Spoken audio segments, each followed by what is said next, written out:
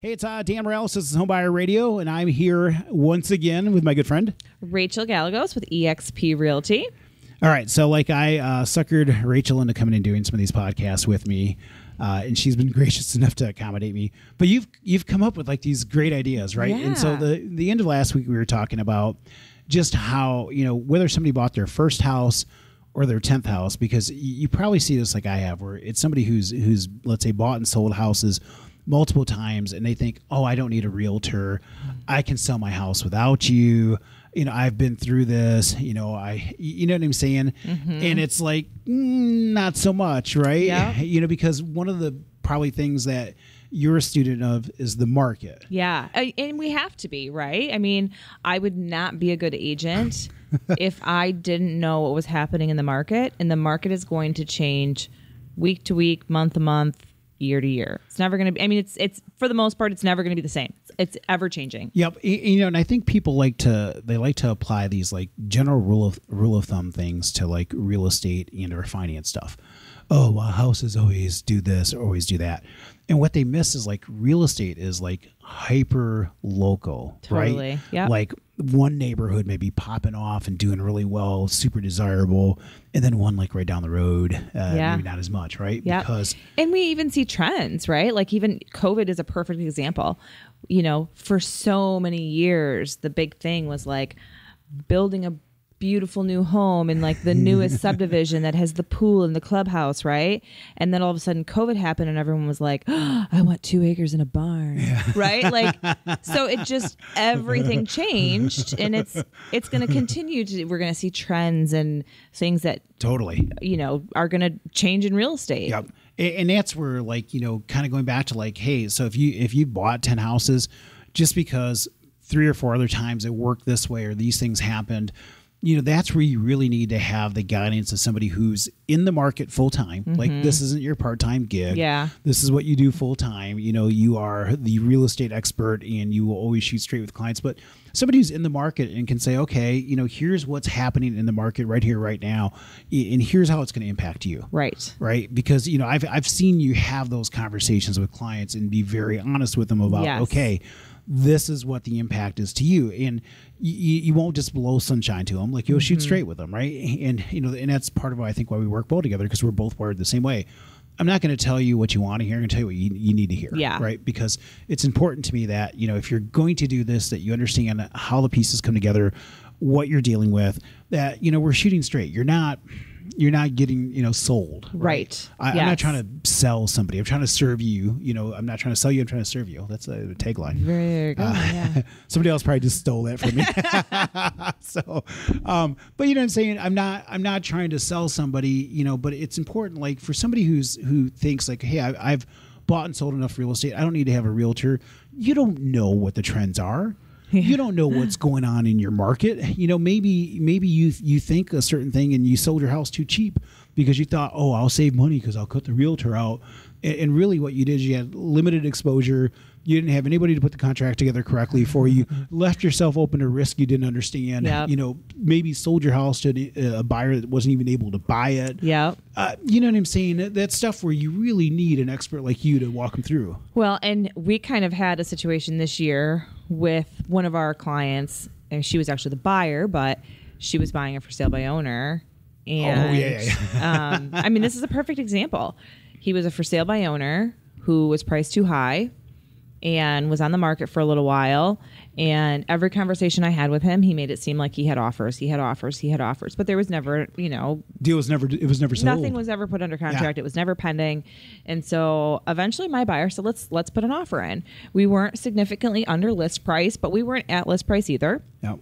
and um, he ended up contacting the, the buyer directly and convinced her essentially to cut me out of the deal but then also talked her up $30000 Yeah, yeah. So she ended up, you know, doing it to herself. now thankfully the last minute he pulled out Yeah. you know it, it that he canceled the transaction and a week later he put it on the market on the mls with an agent for like $20000 more than she agreed to pay and he sat for over two months and then ended up canceling his listing and that's that house still has not sold and so oh, that's a man. perfect example of you know here's this guy who thinks his house is worth a certain amount of money you know convinces a buyer who's willing to pay him more than he even had it listed for and drop his agent because she wanted the house so bad but then he didn't know what to do Yeah, yeah, yeah. and had to cancel it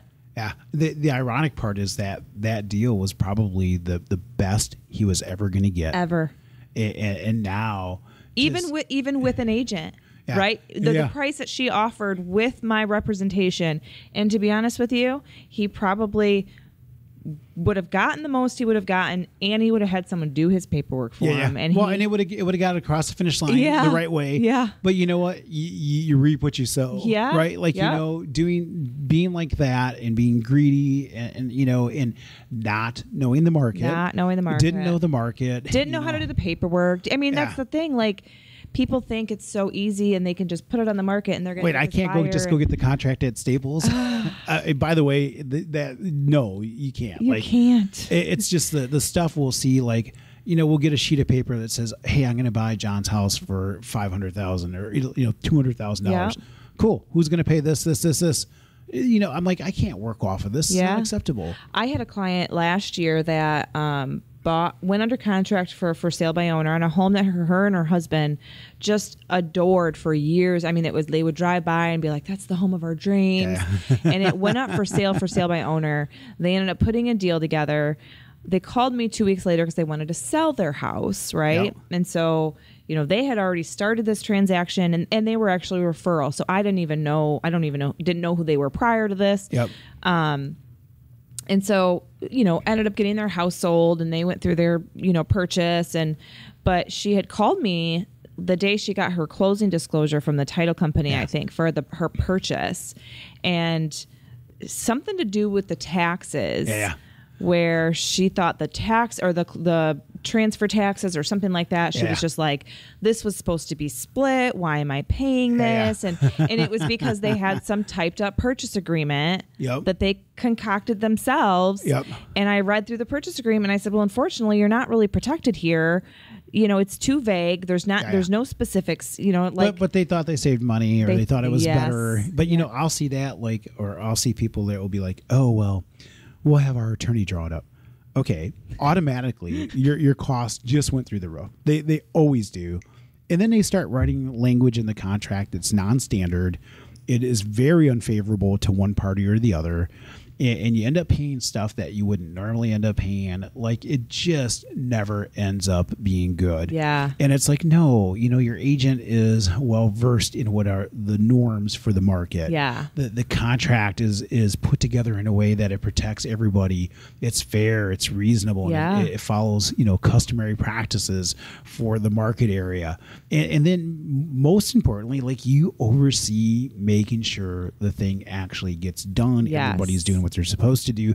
It's kind of like the quarterback of the team that's just over overwatching everything to make sure, okay, everybody signed. You know, these inspections got done. It needed to get done. Yeah. You know, the lenders are doing their part. You know, all those pieces are coming together, and people think it's just simple, or or they think like, oh well, you know, I did this for sale by owner. It's somebody else's job to make sure it gets done.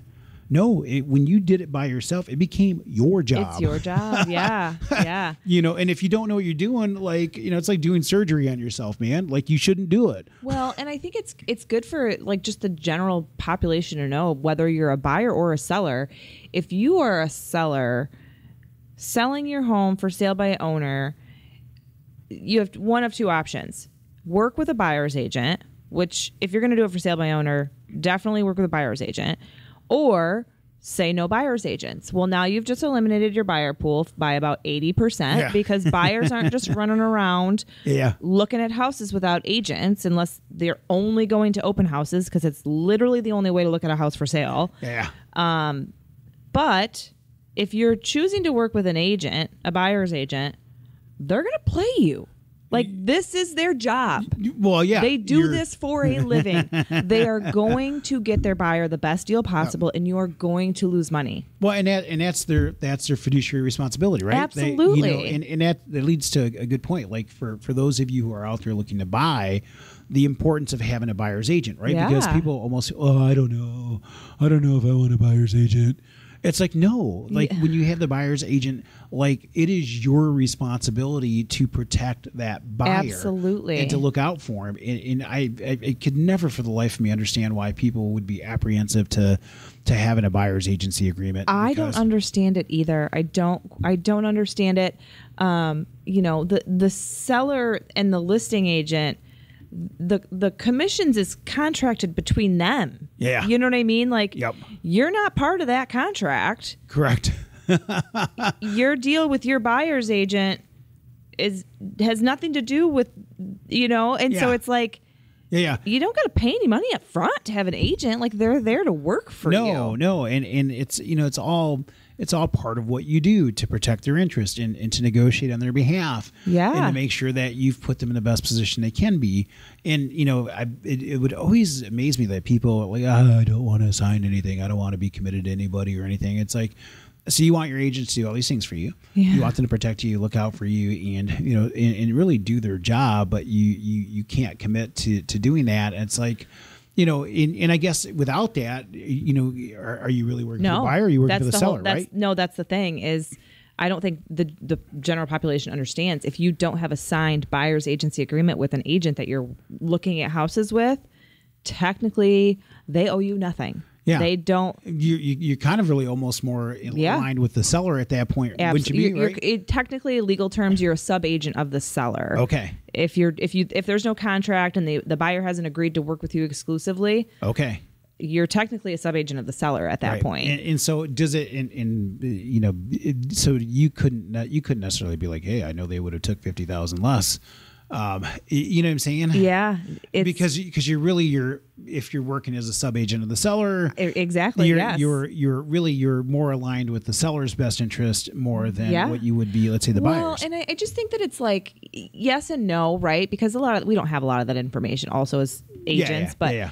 it's really just a matter of if a buyer is not going to agree to work with me exclusively and say I trust you to do what's in my best interest, I'm just not going to work with you. yeah yeah Do you know what I yeah, mean? Yeah, Like- yeah. well because you, you you'd put a bunch of time and energy into that Absolutely. and, and my like, time is important too. Well, yeah, well, you, but you you see, here's the thing though, is you do your job right though, Right. Like, so when somebody looks at a property, you'll go through and research, make sure, okay, this seems reasonable to, Yep. to what the market's shown, or gosh, you know, the you know these other comps would maybe warrant a better price, or y- Yes. you you know, and you have enough connections with the other agents in the market. And here's the thing, like, and I think this is something that's overlooked a lot too, is that people don't recognize like the good agents all know each other. Absolutely.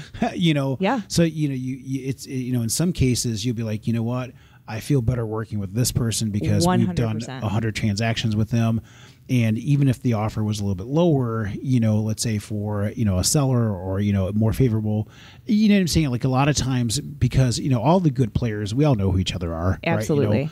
I run into that where I've had you know agents tell me like, hey, we we, we accepted you know this offer because we knew you were the lender. Yes. We, we trust you. Absolutely. Right. And and that kind of stuff happens with with agents too. Like, Yep. hey, you know, you and I have gotten deals done because people know you, they know me, Yep. and they know the deal is going to get done, and they trust that, right? Yeah. And so they, they, it's like there's a level of surety there that they know what's going to happen. Where if oh, I got this pre-approval letter from ABC Mortgage, and it's some agent nobody's ever heard of, you know, the good agents would be like, yeah, I'm not going to roll the dice, man. yes. If there's multiple offers, right? Yeah. yeah. Um, but yeah, I 100% agree, and it goes the other way around. If if it's an agent who's submitting an offer to me that I've done multiple transactions with, and they don't pull their weight, and they don't communicate, and they don't, you know, they don't aren't super honest. I'm gonna know that. I'm gonna Oh, oh, I'm yeah, gonna yeah, advise my client. Because there's is a lot of those. absolutely because my my my job is to do what is in my client's best interest Absolutely. and i'm going to advise them all the information that i have that's going to affect what's best for them absolutely because you're always you're always looking out for their best interest Yes. and, and doing the right thing And that's always been, you know, I think the cornerstone of why we've partnered well together because we're wired the same way. Yeah. You always do what's right for the client. At the end of the day, you know, even if they don't like it, you're always going to give them honest answers. For sure. A- And that's the stuff that, you know, because then the client can make a good, informed decision and they know what to expect as opposed to feeling like they got sold something Yes. or, or pressured into something. Like, you know, neither of us are high pressure salespeople. No. We're just going to shoot straight with it. Like, look, here's what it is. You know, we want you to like it. We want you, you know, ultimately in the end, like, I want you to feel happy about whatever Yes. we've done for you. Mm-hmm. You know, we want you to refer people back to Yeah, us. and, absolutely. you know, and we want to be able to, you know, serve those people as well too. With, with the same care that we, we give any other client, you know, as part of what we do as well too. So cool. How do people get in touch with you? So they can call me at 616 566 2401 or email me at Rachel Gallegos Realtor at gmail.com. And my last name is spelled G A L L E G O S. And I'm Dan Moralez with the Dart Bank. My NMLS number is 709729. The Dart Bank, of course, is equal housing lender. You can reach me at 616 931 4629 or online at danmoralez.com. That's M O R A L E Z.com. Listen, have a great day.